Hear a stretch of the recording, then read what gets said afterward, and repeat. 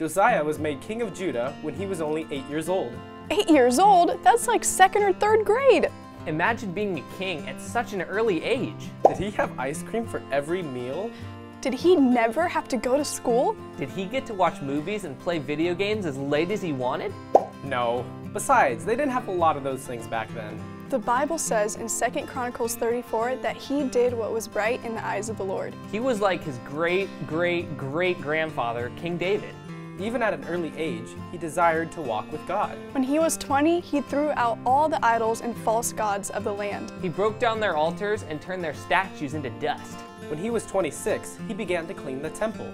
It had become run down and grimy. He collected money for carpenters and stone builders to fix up the temple. While they were fixing the temple up, Hilkiah the priest found the book of the law. The book of the law was the first five books of the Bible. Genesis, Exodus, Leviticus, Numbers, and Deuteronomy. It's also called the Torah, Pentateuch, or the Book of Moses. A man, Shaphan, brought the book of the law to Josiah and read it out loud. It had been a long time since the book of the law had been read in the land. When Josiah heard the word of God read, he tore his garments. He was so upset because of how far Judah had strayed from keeping God's law. He asked Shaphan and all his men to pray so that God would forgive them. Then Josiah took the book of the law and had it read for the whole kingdom. All people, big and small, heard God's word. Josiah then made a covenant with the Lord. He vowed to walk in the ways of God and to keep all of his commandments. And you know what? He did. The Bible tells us that Josiah followed God all his life. Tragically, he was killed in battle against the Egyptians by an arrow. When he died, all of Judah mourned, for he had been a great king. Isn't it amazing that Josiah became a king at only eight years old and chose to walk with God? This story tells us that even you can walk with God as a young kid. It tells us that God's word is powerful and can change a nation. What was Josiah's secret to walking with God? Psalm 119, 10 through 11 describes Josiah to a T. With my whole heart I seek you. Let me not wander from your commandments. For I've stored up your word in my heart, so that I may not sin against you. 2 Chronicles 34 2 says that Josiah walked with God and did not turn to the right or to the left. His eyes were fixed on God.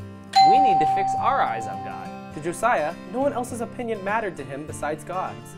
God was the most important person to Josiah. 2 Chronicles 34, verse 33, tells us that Josiah followed God. We need to follow God with all our hearts. How did Josiah know how to follow God? From the reading of the Word of God. Josiah didn't just make up what he thought God wanted. He focused in on God's word.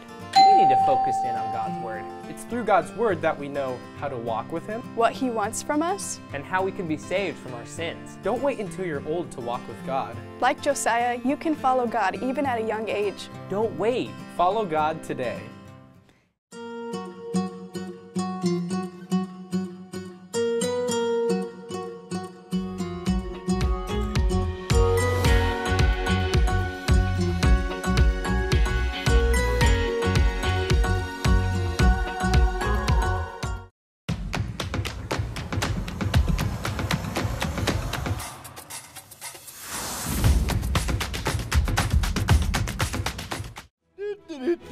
Just cooking it up for the army camp in my new special role. That's right, yes, sir. Bob Sergeant Major says this is right up my alley. I bet you all the other soldiers wish that they could have a job as important as the camp cook. My mama's gonna be Hey so proud. Clump! Heard you got demoted because you kept accidentally lighting things on fire and getting lost chasing butterflies. What? No, just uh, I I defeated all the butterflies, so they gave me a new job. Right! Why wouldn't we have you make food for the entire base? What are you cooking today? I'm making Private Clump's extra clumpy clam chowder. That's perfect! Our recruits need to be able to go days without eating. Wait, what? I mean, they need to have strong guts. I don't understand. I mean, I'm sure it has lots of clumpy protein. Oh, shucks, boot camp Becky. That's real nice of you to compliment my cooking like that. It's my mama's recipe. You want to see? Okay, here we go. Simmer together two artichoke hearts, three garlic cloves, four clams in the shell, a potato, one third of a splash of milk, and a chunk of rubber off the bottom of your boot. Ah, takes me back home to home, sweet home. Clump! This is a disaster! we're okay with bad food in the army, but not this bad food. My, my recipe isn't any good. Nope. And seeing as this is a Bible boot camp, we're going to need to change it. Here, let me grab my recipe. You have a recipe? Let's do this instead. Oh, okay. Uh, this says four slices of bacon diced, two tablespoons of unsalted butter, two cloves of garlic minced, one onion diced, a half teaspoon of dried thyme, three tablespoons of all-purpose flour, one cup milk, one cup vegetable stock, two six and a half ounce cans, chopped clams, juices reserved, one bay leaf, two russet potatoes peeled and diced, one cup, half an half, kosher salt, and freshly ground black pepper to taste. Whoa, that sounds delicious! And look at that picture. Oh, Yes, Private, it's going to be delicious. And that reminds me of this week's Bible verse. The law of the Lord is perfect, reviving the soul. The testimony of the Lord is sure, making the wise simple. Psalms 19:7. what's that got to do with soup? Were following a recipe that was going to be clumpy in all the wrong ways. It had a rubber boot in it for crying out loud. But I showed you a recipe that is perfect for making good chowder. And your point is. Lots of people follow their own plans instead of following God's word. God's word is perfect and it revives the soul when we read and follow it. It can even give simple people wisdom. I know a lot of simple people that could use God's word then. Exactly! If you want to help people and be revived and get wisdom, you follow God's word. If you want good chowder, you follow that recipe. Oh, sounds good, Boot Camp Becky. Thanks for the tip. Of course. All right, now we just need a little chunk of this guy. Here we go. Ugh. Oh, that's a little bit much, but I'm sure it's gonna be fine. Hey, Clump, how's that clumpy clam chowder working out? So good. I just added my last ingredient. Is that a boot? Why, is it smoking? Oh no, duck and cover! Turkey cover! Oh, would you look at that? It's ready. Clump, I made my mama's clumpy clam chowder. I gave you a recipe to follow the good for good chowder, and we talked about how it was the perfect recipe. Wait, I was supposed to follow that recipe? Of course. Oh, I thought you were just telling me about it so that I could learn stuff, you know, to take up all the empty spaces. Well, yes, but you're supposed to actually follow the new recipe. It's like this Bible verse says Be doers of the word, and not hearers only, deceiving yourselves. James 1:22. You can't just hear God's perfect word and not do it. You also have to do what it says to do.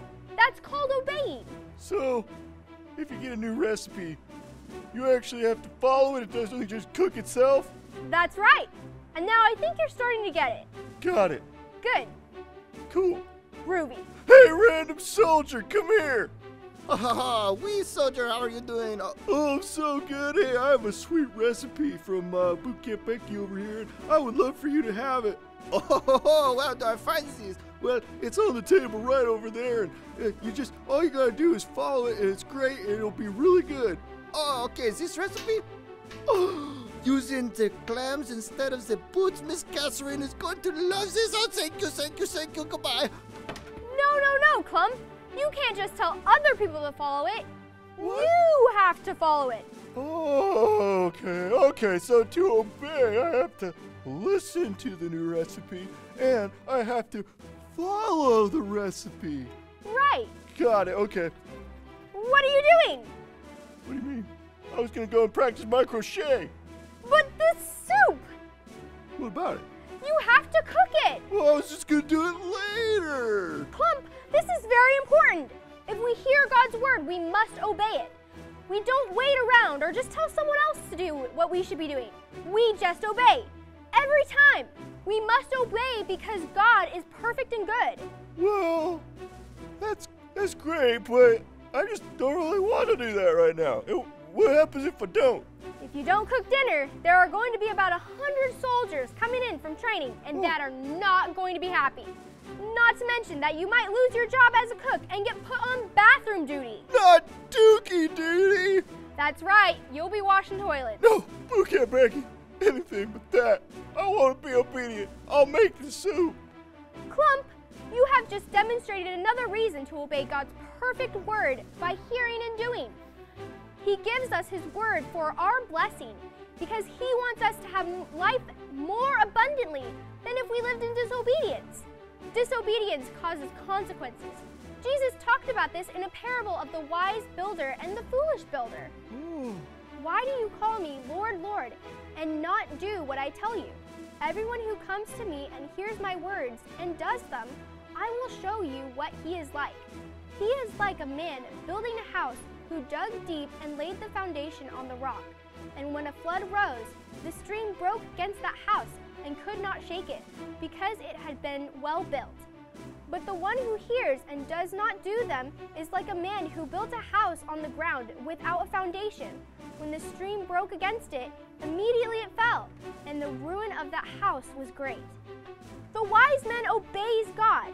He has the blessing and safety of a house on the rock. The foolish man, his house gets washed away and ruined because he doesn't hear or do what God commands. Whoa, it sounds way easier to obey. I won't try to get other people to obey for me, and I won't be lazy. I'll do what God says because His word is perfect. Oh, and also, I'll use your chowder recipe so that we can feed all those hungry troops. Very wise of you, Clump. God's word has really made the wise simple today. Oh, And that's why I love Bible Boot Camp. Now, let's do 700 countries and then make this chowder. 700 Ready, attention! One, two.